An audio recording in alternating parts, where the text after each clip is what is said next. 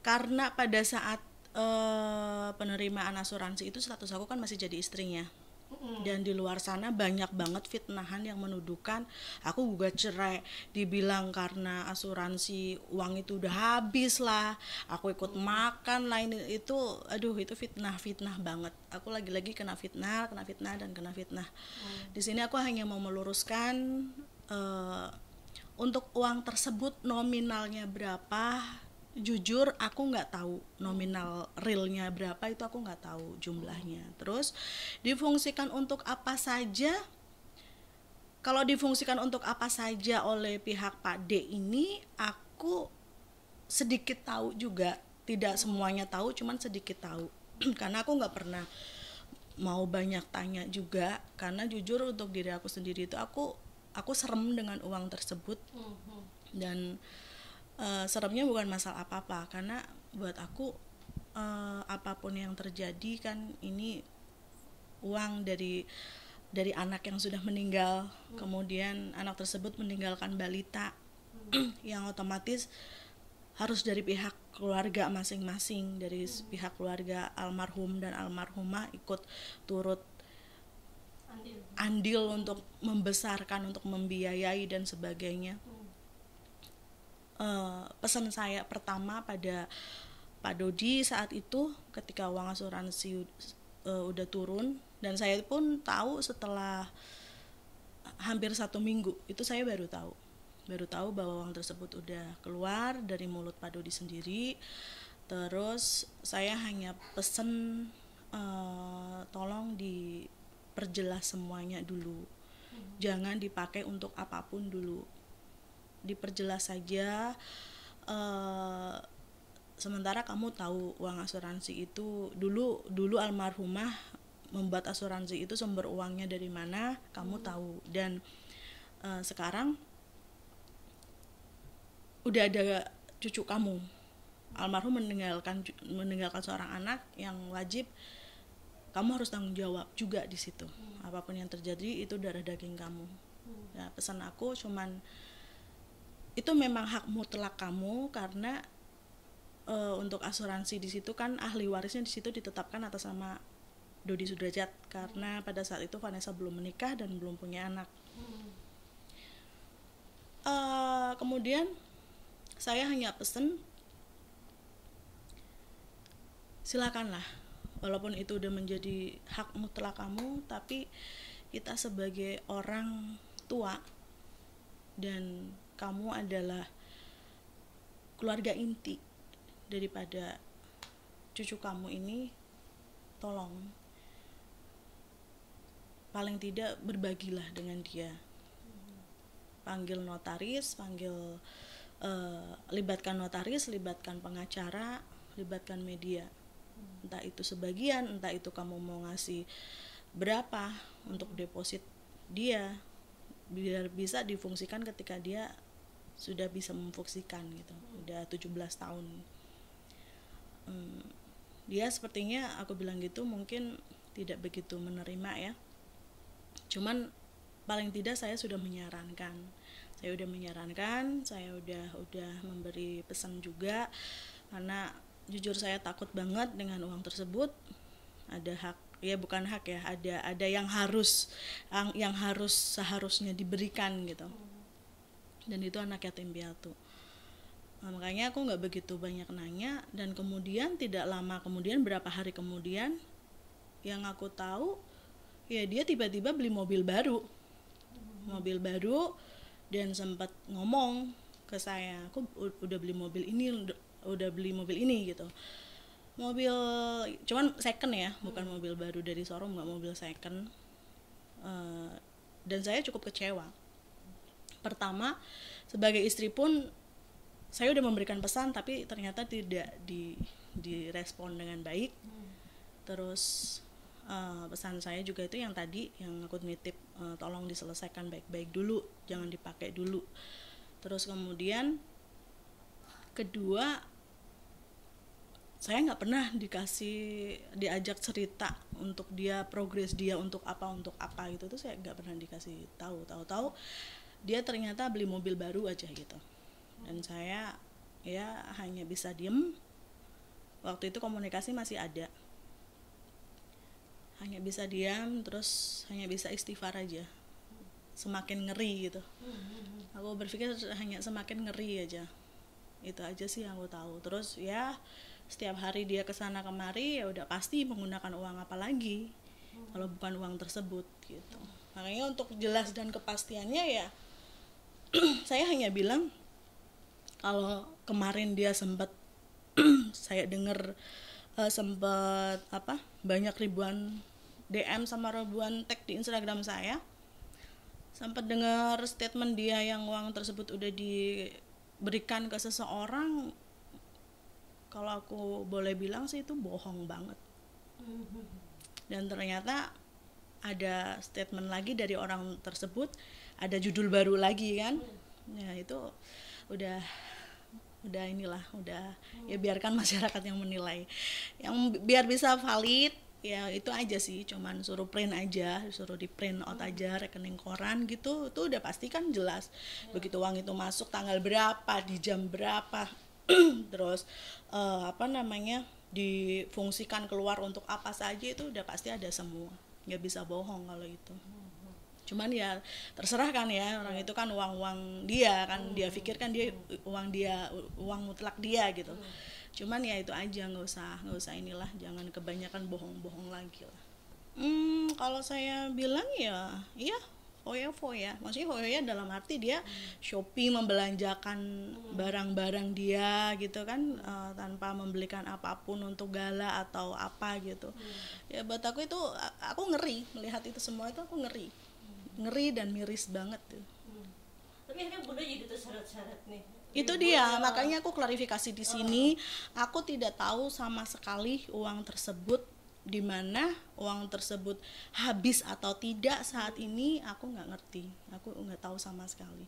Nominalnya pun wujudnya di buku rekeningnya pun aku nggak tahu. Nominalnya berapa tuh nggak pernah nggak pernah tahu dan nggak pernah nanya.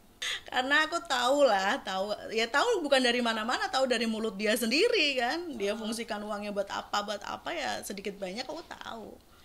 Eh, nggak uh, tahu deh. Itu kali barang-barang branded KW yang dipakai dia sepertinya ya ya aku lihat ya. Tiap hari kan shopping aja kan kerjaannya ke sana kemari kan nggak ada kerjaan lain. Ya udah tiap hari mungkin ngabisin ngabisin uang receh katanya kan. Oh, ya ngabisin uang receh dia yang masuk kan ke, uh, ke rekening. Aku nggak menerima sepeser pun aku nggak makan uh. sepeser pun sesen pun dan aku nggak tahu untuk saat ini uangnya udah habis apa belum aku pun nggak tahu pengen kevalitannya ya tinggal minta di print out aja saksikan sama-sama. Hmm. kapan sih pun persisnya pun keluar asuransi itu dan aku lupa deh pokoknya uh, kalau nggak salah nih antara akhir Desember apa awal Januari gitu. Hmm.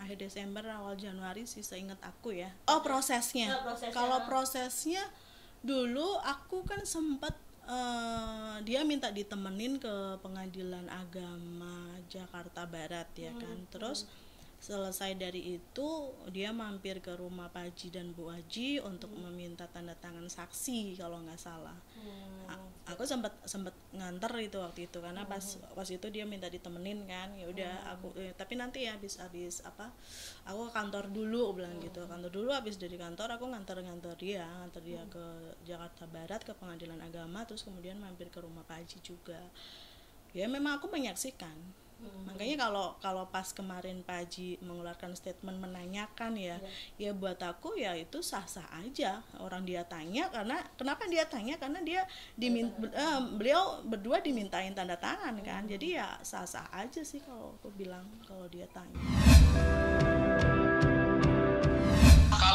untuk urusan itu apalagi yang ngomong uh, sebenarnya udah nggak mau ngebahas gitu ya. Nggak mau ngebahas uh, sama orang stres lagi stres mungkin lagi depresi dan mungkin lagi uh, pansos jadi jadi nggak mau ngebahas uh, masalah inilah.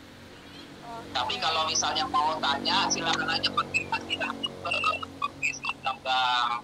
ya nggak bener lah. Ya nggak bener lah. Nggak bener.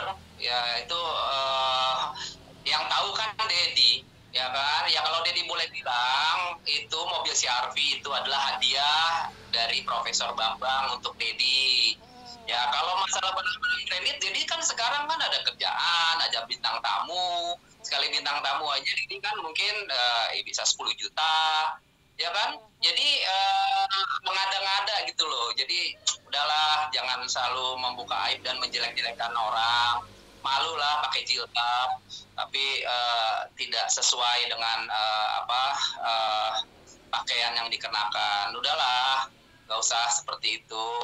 Makanya Dedi kan nggak mau menanggapi orang yang sedang pansos. Nanti diundang-undang lagi di podcast undang-undang lagi di TV jelek-jelekin apa uh, Dedi udah kan itu nambah-nambah dosa.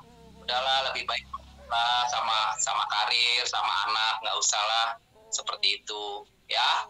Alasannya membeli mobil kan uh, Mayang kan uh, Mayang kan uh, butuh uh, apa uh, kendaraan juga untuk dari antar ke lokasi syuting ya kan itu itu aja sih alasannya. Nanti kan bentar lagi dia juga kuliah gitu ya. Jadi ya mobil dalam artian uh, kalau diberikan uh, Prof. Bambang ya sudah sudah sudah apa ya nggak nggak sesuatu hal yang mewah lagi gitu. Apalagi juga mobil CRV-nya juga second kok nggak usah dipermasalahkan lah gitu ya. Uh, yang penting Prof, Prof. Bambang sudah menghadiahkan Dedi. Ya Dedi terima kasih sama Prof. Bambang. Ya itulah beliau. Beliau adalah orang yang sangat uh, apa ya sekarang ini kan dulu sayang banget sama Vanessa.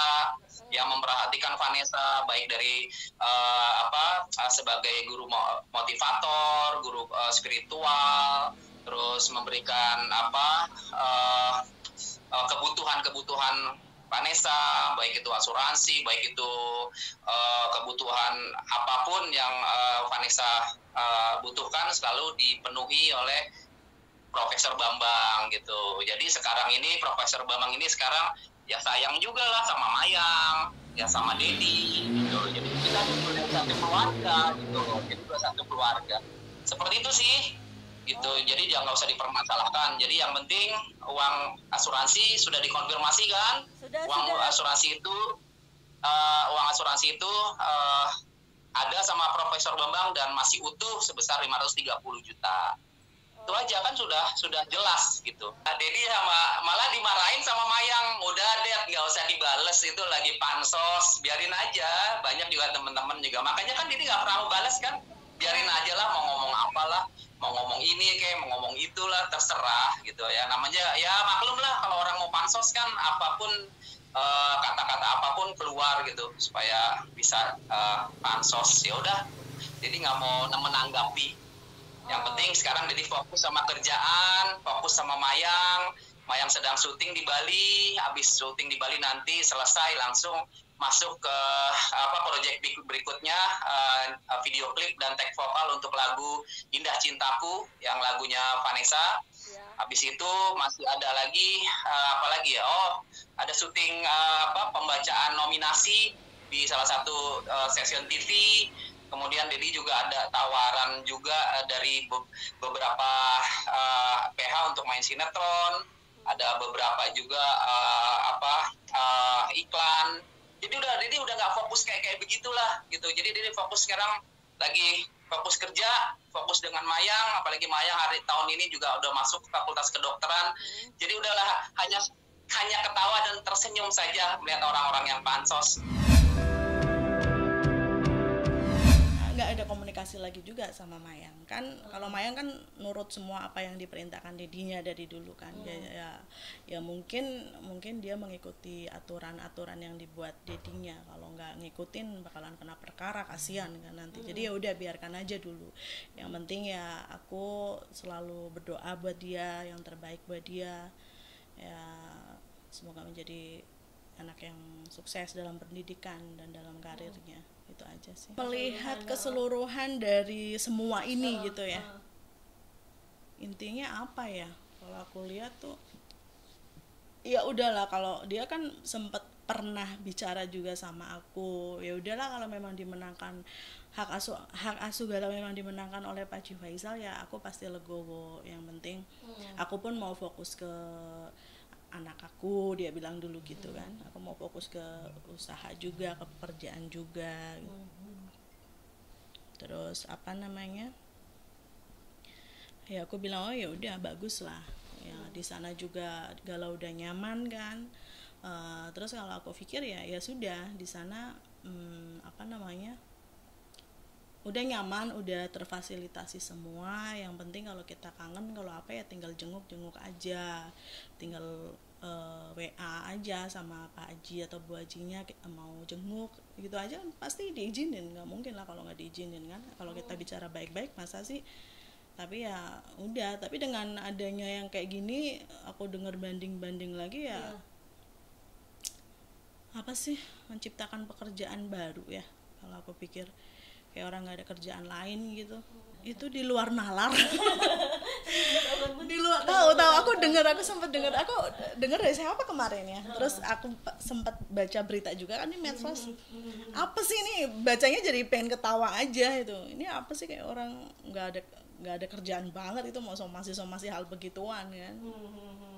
Ya apa ya? Mungkin kenapa ya? Ya lagi menciptakan pekerjaan baru mungkin pernah pernah bertemu beberapa kali hmm. ya ya pernah bertemu aja beberapa kali karena aku sempat masih nemenin Pak Dodi kan karena aku waktu itu hmm. masih jadi istrinya aku temenin ya kenalnya ya kenal setelah ada kejadian almarhum meninggal aja hmm. selebihnya aku nggak tahu